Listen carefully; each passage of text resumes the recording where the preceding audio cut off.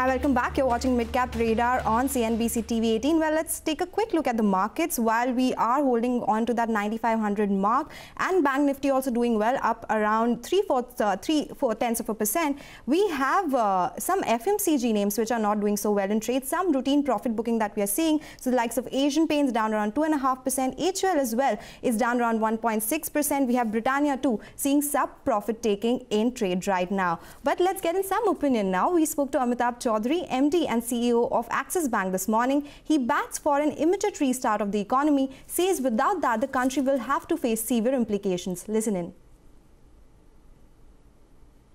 If we keep the country shut for anywhere between 49 and I've heard 7 weeks to 10 weeks, the country shut for that time, we need to open up the entire country. It can't be, you know, opening parts of the economy because there's so many interlinkages uh, of everything you open up that you open one part, don't open the other part, the opening has no meaning. So you have to open up, open it up. Yes, continue your uh, you know strict uh, norms in terms of how you will shut down parts of the city or parts of uh, you know uh, you know the country or districts if there is a, there is a uh, you know the red spots developed. But otherwise, the country has to be opened up. Otherwise, I think this is going to lead to a huge economic crisis. India today, based on where we stand today, has the one of the strictest lockdowns in the world. And from an economic support perspective, I think we have still got some distance to cover. So I think I think that combination needs to change. That that uh, our, our, our point in that map needs to change to some extent. The impact of COVID was felt only towards the end of the quarter. Uh, we had a decent quarter. We had predicted that our GNPAs will come down. We had said that our business is gradually, slowly picking up. So our traction on the granular growth of our CASA deposits continue to reflect the fact that we're building up the franchise slowly, gradually. Our loan growth continues, uh, you know, continued at the right pace. Uh, yes, we had an impact on the fee income because of COVID-related uh, impact. We had, uh, you know, one-time charge in comparison to last year around buying PSL certificates, so that also kind of impacted our expenses. But overall, otherwise, it was a great quarter. Uh, uh, but yeah, I mean, COVID kind of pushes everything back we look around us, we see that the revival of economic activity back to what it was a couple of months back, couple of months back, could extend anywhere from six to nine quarters. If that is the case, some unexpected companies will go down.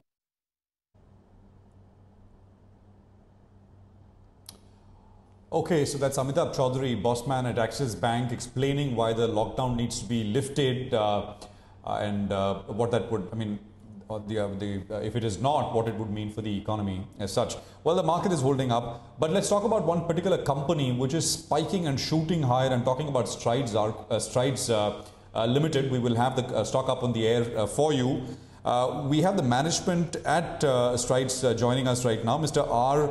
Ananthanarayanan is with us to take some questions about a particular drug, a particular antiviral drug called Favipiravir. I mean, I hope I got the question, uh, the name right, the pronunciation right. Mr. Ananthanarayanan, thank you for joining us, sir. You've started the uh, production and export of this drug. Uh, it's a generic version of influenza drug, which has been used, which has been used in Japan to treat the coronavirus. Uh, and uh, you're, you're, exporting it right now, but you've applied for permissions to be able to sell it here uh, in India as well. Could you tell us a little bit about uh, this, this drug, the efficacy of this to treat COVID-19 uh, when it was used in Japan? Uh, I mean, just let's just start there. Basics first. Sure. Uh, good afternoon, Prashant. Um, yeah, certainly we are very pleased today to be able to be the first Indian company to develop and commercially launch uh, Favipiravir tablets for the global markets. And as you rightly said, uh, we are getting and trying to work on accelerating necessary studies and approvals to get the drug available expeditiously to the Indian patients, uh, which is extremely important. Now, favipiravir has been used in Japan uh, for, it started off uh, being used for as an antiviral for influenza.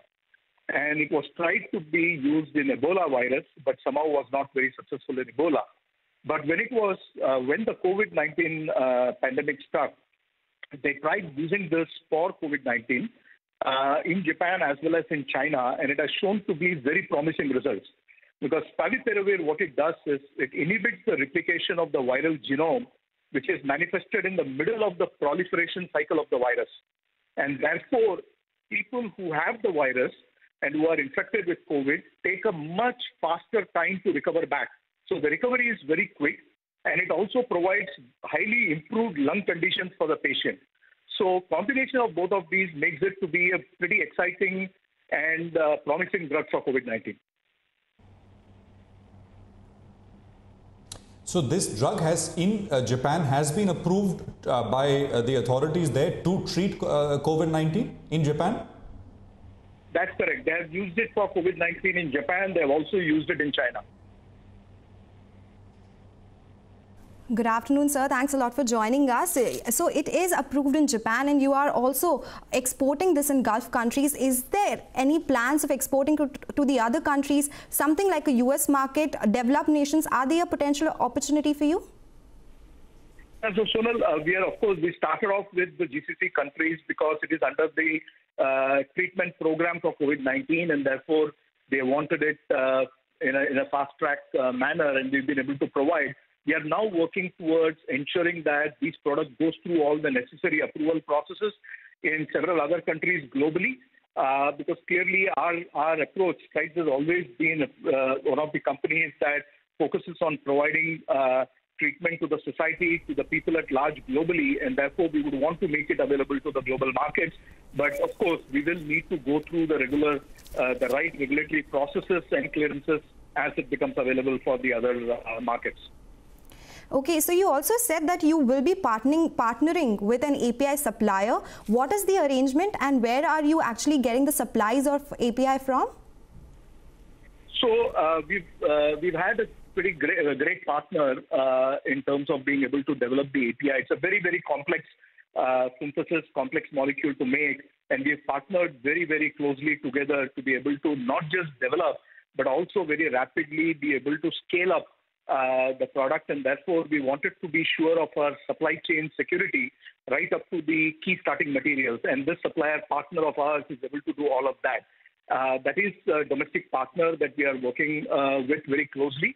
And uh, once we've secured the API supplies, is uh, when we started uh, doing the exports and making the product available. So we are pretty much secured in terms of the API supply right from the key starting materials.